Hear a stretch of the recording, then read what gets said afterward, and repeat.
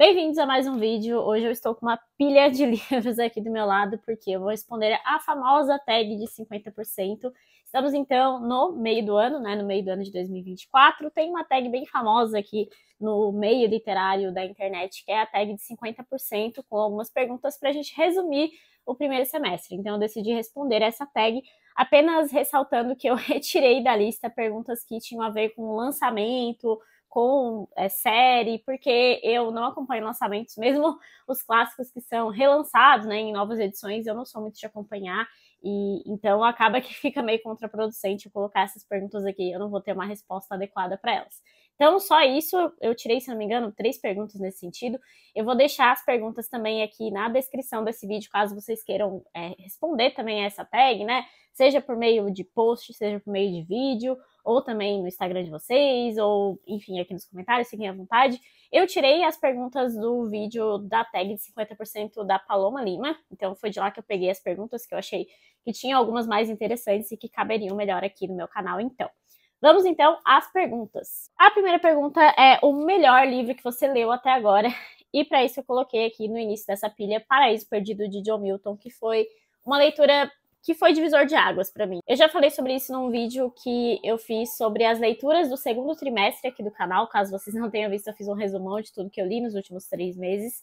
E Paraíso Perdido foi um projeto de leitura aqui do canal. Para mim, foi um projeto muito legal, porque o pessoal participou, é, assistiu aos vídeos e eu achei que não ia ter tanto engajamento nesses vídeos, por isso eu fiquei muito feliz de ter feito esse projeto, especialmente porque esse aqui é um livro que para mim foi uma das coisas mais incríveis e mais difíceis que eu já li na minha vida.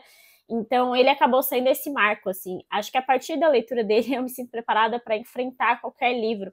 E não que livros sejam assim desafios e devam ser desafios, mas esse aqui é um livro do século XVII, se não me engano, 16, 17, que trata aí sobre um tema bem capcioso de ser tratado, inclusive, né, que é a queda do homem, a queda de Lúcifer, todos esses desdobramentos. É um livro dividido em cantos, né? Um grande poema épico da língua inglesa. Então, para mim, esse aqui foi um grande livro do meu primeiro semestre. Eu ainda não acho que ele tenha entrado assim para os meus preferidos da vida, porque geralmente eu coloco nesse top 3, top 5, enfim, da vida, livros que tenham me tocado especialmente, por isso que eu sempre falo que Mob Dick é o primeiro, porque é um livro que eu tenho muito carinho, mais do que, nossa, esse aqui é o melhor livro, mais bem feito, mais bem escrito, não exatamente nesse sentido. Embora é claro que livros que sejam muito bem feitos e muito bem escritos estejam geralmente no top 5 também. Mas Paraíso Perdido foi um livro sensacional e eu acho que todo mundo deveria tentar, porque é uma jornada que vale muitíssimo a pena. A segunda pergunta é o livro que mais te decepcionou esse ano. infelizmente, teremos que colocar um Dostoiévski aqui, nessa categoria em específico, porque eu li Memória da Casa dos Mortos nesse segundo trimestre, né, no primeiro semestre, mas foi recentemente que a gente fez a leitura. E esse livro não me tocou, não me empolgou muito, eu achei muito arrastado em muitas partes. Eu até achei que tinha sido a tradução, porque eu comecei por uma tradução indireta. Depois eu passei aqui para a edição do Oleg Almeida, né, que é um tradutor que eu gosto muito, mas acabou não engrenando de qualquer forma. Eu acho que eu esperava muito mais desse livro aqui. Embora a escrita do Dostoiévski esteja muito refinada nesse livro, eu senti isso, assim, eu achei muito bem escrito por parte dele, mas nem a história, nem a forma com que ele fez aqui esse livro, que ele é, pensou na obra, pensou no enredo, eu acho que simplesmente não funcionou para mim e eu acabei me decepcionando com essa leitura. Inclusive, outra leitura também do Dostoiévski que poderia estar nessa categoria foi Os Irmãos Karamazov, porque é um livraço e eu vejo muitos méritos nele, mas eu achei que eu ia gostar muito mais do que eu efetivamente gostei.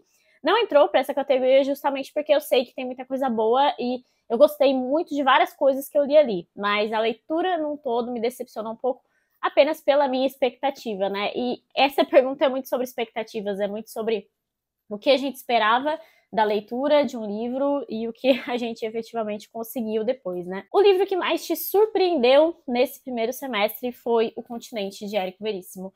E eu fiquei extremamente obcecada, inclusive a próxima pergunta também vai ser com a mesma resposta, porque a próxima pergunta é nova obsessão literária, novo autor favorito que lançou o seu primeiro livro nesse semestre ou que você conheceu recentemente. E foi Érico Veríssimo, porque eu simplesmente me apaixonei por O Continente, tanto volume 1 quanto volume 2. Esse livro aqui é redondinho, ele tem personagens incríveis, um enredo maravilhoso, uma escrita assim sensacional. Eu fiquei muito apaixonada pela escrita do Érico Veríssimo. Eu falei isso várias vezes já aqui no canal.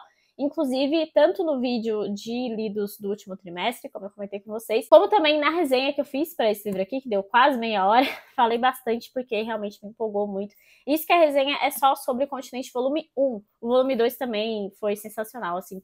Eu me apaixonei pela escrita do Érico Veríssimo, pela história também de O Tempo e o Vento. O livro mais diferente que você leu até agora foi O Processo do Kafka, no meu caso, porque até agora eu não descobri se eu gostei ou não gostei desse livro aqui. Ele é extremamente confuso e a ideia é ser assim mesmo. Ele tem essa carga pesada, assim, psicológica. Ele é um livro muito labiríntico até, e isso tem muito a ver com o Kafka, com a história do Kafka. Eu gostei demais de estudar sobre a história dele, de conhecer esse homem, assim, que representa tão bem a sua época e enfim, as várias características que ele traz consigo e que ele coloca nas suas obras, eu achei muito interessante saber.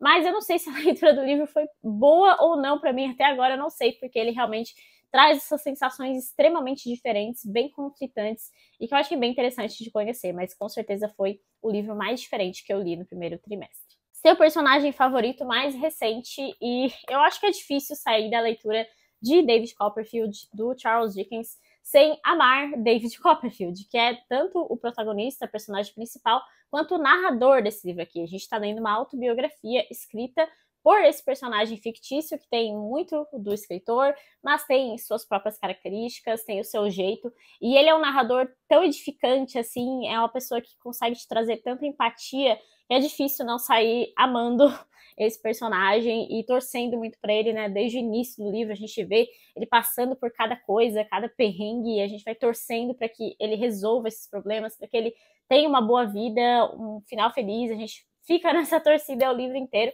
Então eu acho que David Copperfield foi um dos personagens mais marcantes aqui das minhas últimas leituras. Um livro que te fez chorar nesse primeiro semestre foi uma releitura e por incrível que pareça, eu chorei mais na releitura do que na primeira leitura. E eu trouxe para representar aqui Os Miseráveis de Vitor Hugo, essa edição maravilhosa da Kozak Naif que eu ganhei de presente de um seguidor lá do Instagram, o Sérgio. E presentão maravilhoso, né? Porque esse aqui é um dos meus livros da vida, e como eu falei, né? Eu classifico como livros da minha vida, livros que me tocaram muito e que se tornam, de alguma forma, especiais, de uma forma diferente mesmo. Os Miseráveis é esse livro porque eu vejo nele uma beleza, um amor diferente, assim. É, o que Vitor Hugo consegue construir aqui para mim é muitíssimo especial. Eu sei que muita gente não gosta desse livro, cansa desse livro, acha prolixo, enfim, mas eu sou uma grande defensora de Os Miseráveis e por isso que eu coloco aqui esse livro como um dos mais especiais da minha vida, como um dos meus livros da vida mesmo. E eu chorei, assim, as últimas páginas, uma forma bizarra, eu acho que foram uns 10 minutos. E eu não sou muito de chorar o livro, para falar a verdade. São poucos os livros que me fazem chorar de verdade mesmo, sabe? Não aquela coisa de, ah, o olho encheu de lágrima, mas a gente acaba nem chorando, ou uma emoção maior que alguns livros nos trazem. Os Miseráveis eu chorei copiosamente o final inteiro, porque eu sou apaixonada. E mesmo sabendo de tudo que ia acontecer, mesmo já tendo lido, para mim foi ainda mais bonito, porque na releitura eu pude prestar atenção nas entrelinhas, prestar atenção nas sensações que o escritor quer te passar mesmo. Então, para mim foi uma releitura muito especial, que eu gostei muito, e é um livro que sempre vai me fazer chorar, acredito eu. Um livro que te deixou feliz no primeiro semestre, e aqui eu vou colocar Huckleberry Finn, porque esse livro aqui é muito divertido. Na verdade, os dois livros do Mark Twain que eu li até agora, que é o Huck Finn e o Tom Sawyer, são livros divertidos, livros gostosos, leves, apesar de ter várias temáticas pesadas, apesar de ter sofrimento infantil, de ter assuntos bem relevantes, bem chocantes ali da, da época do século XIX dos Estados Unidos, mas ele é um livro divertido, e eu me divertia muito assim com o Huck, com o Tom, com as peripécias deles, com as tiradas deles, então eu coloquei aqui Huck Finn como o livro que me fez feliz nesse primeiro semestre. Sua resenha favorita desse primeiro semestre, escrita ou em vídeo, e aqui, como a maioria das pessoas eu vou presumir que é uma resenha nossa, né, aqui do meu próprio canal. E eu tenho gostado muito das minhas últimas resenhas, para falar a verdade, e modéstia à parte também, mas enfim. Eu gostei muito da minha resenha de David Copperfield, ficou quase 40 minutos, eu falei pra caramba naquele vídeo. Gostei muito da minha resenha também de Paraíso Perdido, gostei de O Tempo e o Vento, Continente, volume 1, né?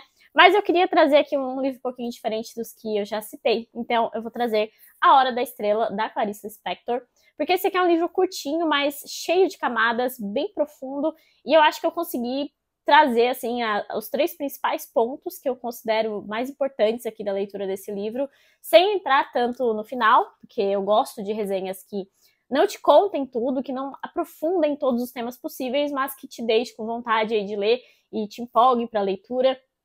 Esse é o meu tipo de resenha. Eu sei que algumas pessoas não gostam exatamente desse tipo, mas é o que eu gosto de ver e é o que eu gosto de produzir também. Então eu fico muito feliz quando eu faço resenhas nesse sentido. E acho que eu consegui com A Hora da Estrela da Clarice Lispector. Assim como também o Morro dos Ventos Vivantes rendeu uma boa resenha. Foi uma das últimas, se não me engano, a última resenha aqui do canal. Mas enfim. O livro mais bonito que você comprou ganhou esse ano e provavelmente eu vou colocar o livro mais bonito da minha estante. Sempre esse aqui, sempre vai aparecer. Foi um presente do Rodolfo lá no início do ano. E foi um presente, sim, que me emocionou bastante também, porque é mais uma edição de Mob Dick, sim. Só que é a edição mais bonita que vocês vão ver na vida de vocês.